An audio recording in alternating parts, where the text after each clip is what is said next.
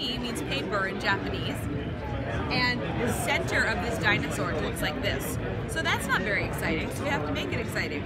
So this is like plastic, it's called kami paper, and I push it out, and I bend it, and I use little pegs to hold it all together, and I form the body of the dinosaur.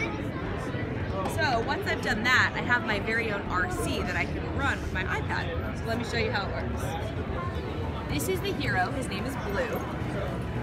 And so I can do, or I can change his eye color. I can put him into dance party mode. Oh yeah. I can have him battle.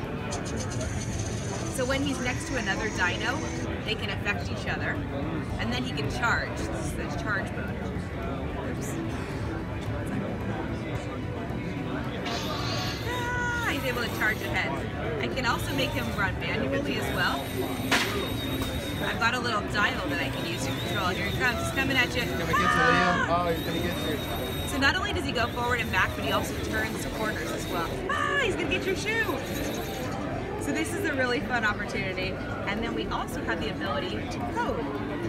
And coding means that I'm developing a pattern for them to move in. So just you have to drag and drop and you can make a pattern that they can run it.